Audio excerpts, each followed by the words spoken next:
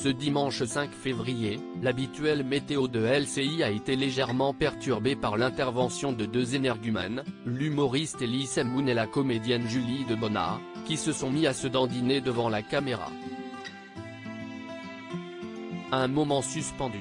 Le grand humoriste Elise Moon n'est plus à présenter. Cousin de Patrick Bruel, le jeune comédien a toujours le sourire, et pourtant, la vie n'a pas toujours été clémente avec lui. En novembre 2022, il annonçait au micro de RTL s'être séparé de sa dernière compagne en date. En effet, malgré son sourire et sa bonne humeur, il aurait vécu plusieurs histoires d'amour qui se sont soldées par des échecs. Par ailleurs, le parrain de la journée mondiale contre la maladie d'Alzheimer est passé par une épreuve douloureuse lorsque son père est décédé en 2020.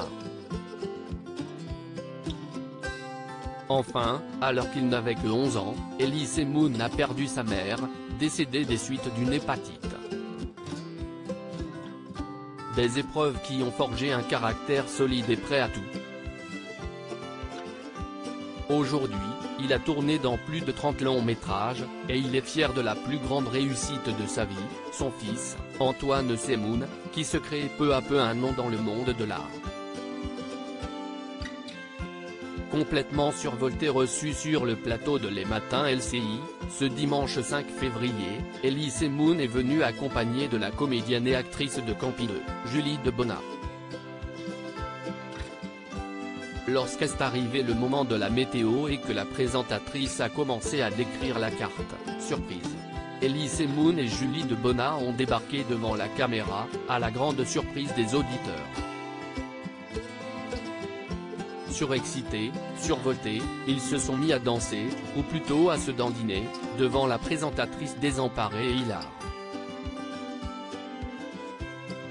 Elise Moon a même tenté une roue, ce qui a provoqué aussitôt le rire général sur le plateau. Les deux acteurs sont ensuite gentiment retournés à leur place, fiers de leur intervention. S'agissait-il d'un pari, ou d'une improvisation? En tout cas, ces deux-là le savent, il en faut peu pour être heureux.